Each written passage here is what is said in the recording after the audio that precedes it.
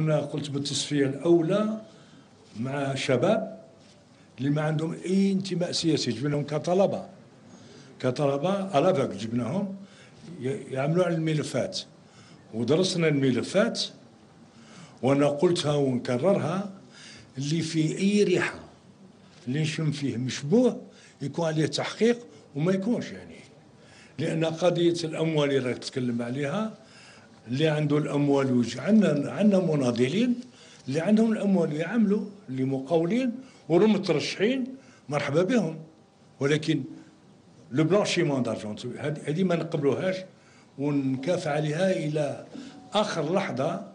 أنا نضمن لك سي فيصل باللي هذا هذه الظاهرة اللي شوهت سمعه الحزب منذ 2012 تقريبا ما تكونش هذه المرة. ابدا. إحنا صاهرين كلنا كلنا صاهرين باش الحزب يرجع ل أعطيتكم هذا بالصدفة تاع أول أكتوبر 2006 يرجع للنظافة نتاعو للطهارة نتاعو وكل واحد منا عنده الضمير نتاعو ولكن آه، باش يوسخون الحزب كما وسخوه خلاص. قلتها اسمح لي على التعبير. شكارا c'est fini avec nous